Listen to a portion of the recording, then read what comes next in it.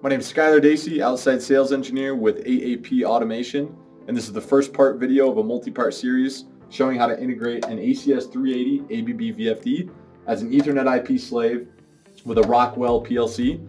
Um, so in this series, we're going to show first how to parameterize the VFD for an Ethernet card, uh, specifically a FENA 21.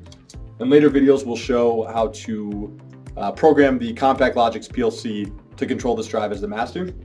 Step one, we're going to take out this faceplate and install the Ethernet IP card. That just goes into option slot one.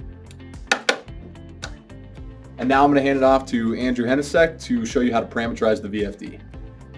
Hey, my name is Andrew Hennesek, AAP Automation Applications Engineer.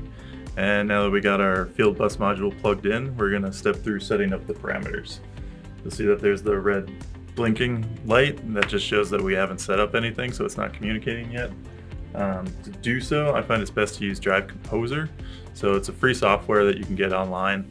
Um, if you just Google ABB Drive Composer, it'll be the first link and there's a free download.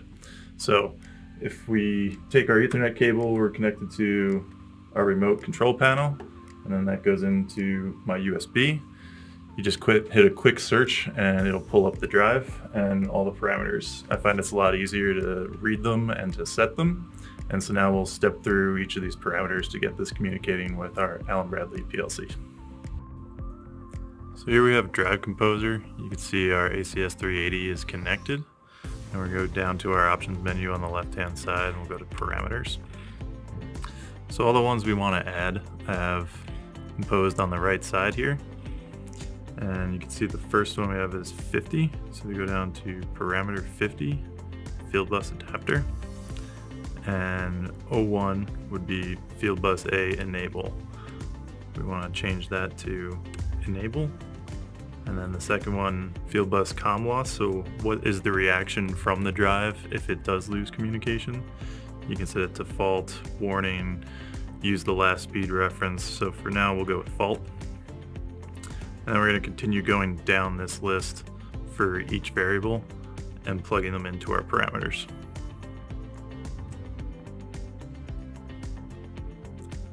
As you can see, we entered all the parameters that are on the list to the right.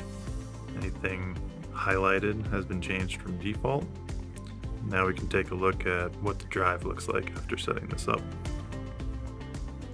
So now that Andrew has the parameter set up for the Ethernet communication module, we've got a blinking light here showing that it's communicating with the VFD. Next step is setting up the communication on the Allen Bradley PLC side. Tune into our next video to see how to get that done. Thanks.